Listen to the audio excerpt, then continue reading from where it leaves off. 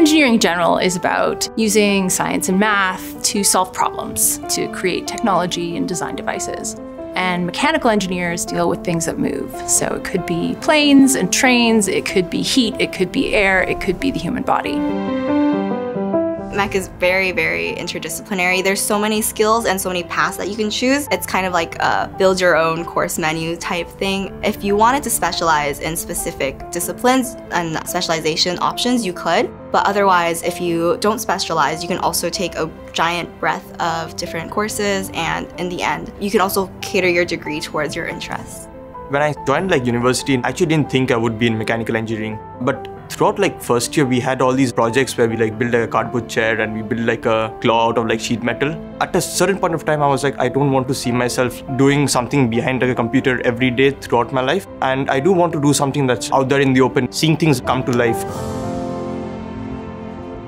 Our program is really strong in design. So throughout all three years of the mechanical program, you see tons of design and lots of hands-on. In second year, you get thrown into the machine shop, the instrumentation space, you learn some drafting and a lot of computer software skills. You get sent into the machine shop learning lathes, mills, different sort of hand tools, power tools, and then you get to build a little device at the end, which is like your final project. Everything actually relies on one another. The instructors are really engaged. They're really invested in the students' success. The students collaborate with each other all the time.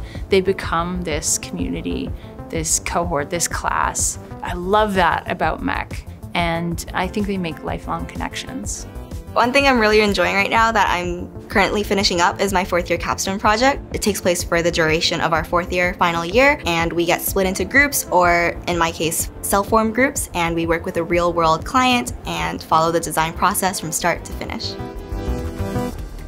We have fantastic technicians who are available to help the students with a lot of hands-on in the building.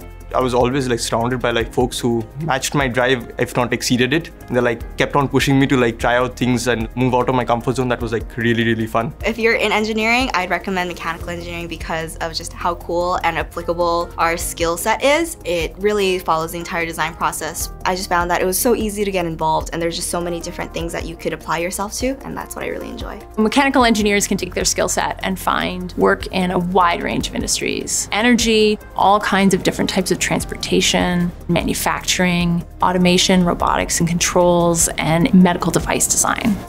If you like things that move, hands-on projects, or working in teams, then UBC Mechanical Engineering is for you. It's applicable to so many different problems, industries, issues that we're facing as a society.